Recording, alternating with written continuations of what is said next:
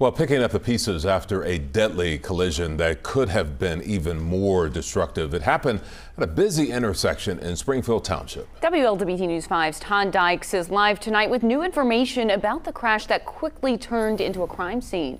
Todd? Yeah, Molly and Curtis, you know, when the deadly collision happened, the traffic lights you see behind me at Winton Road and Galbraith Road were all red. Now, a driver who was waiting to make a left turn told me that being stopped by the lights turned into a terrifying ordeal when another driver came flying at her from behind. A crash early Saturday scattered pieces of cars at the intersection of Winton Road and Galbraith Road in Springfield Township. Police say this man, 24 year old Andre Christopher, is to blame. Officers first tried to stop Christopher near West North Bend Road and Daly Road, where they say he was traveling faster than 80 miles per hour. About 10 minutes later, police say Christopher's car was spotted on Galbraith near Hamilton Avenue, going faster than 100 miles per hour. A short time after that, police found Christopher's crashed car at the intersection of Galbraith North Winton.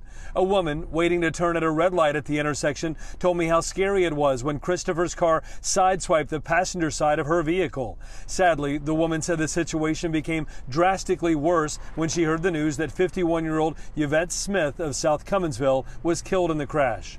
These images of what quickly became a crime scene show how badly Smith's car was damaged when police say Christopher ran into her. Police say after he caused so much chaos, Christopher tried to take off on foot, but he didn't get far before officers were able to take him into custody. Now, that crash victim I spoke to tonight, who didn't want to be on camera, she's badly shaken up and she's just heartbroken for Yvette Smith's family. Now, I went to the South Cumminsville neighborhood where Yvette Smith lived. I spoke to a young man who identified himself as her son. He declined comment, but he was surrounded by loved ones at such a, an emotionally difficult time. As for Andre Christopher, he is at the Justice Center tonight, charged with aggravated vehicular homicide.